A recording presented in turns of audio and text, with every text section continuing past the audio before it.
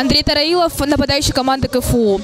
Уже в первом тайме вы забили первый гол, э, после чего дальше удачно сложилась игра. Э, Вы выиграли. Эмоции, ощущения и краткий комментарий. Всегда хорошо, когда побеждаешь, конечно. Ну, нам эти очки нужны, чтобы остаться в высшей лиге здесь. Мы приехали сильным составом и будем по максимуму брать все очки, которые можем здесь. А Какие поставлены задачи на две ближайшие игры? Набрать максимально очков, как бы будем выполнять установку тренера и надеюсь, у нас все получится. Спасибо большое.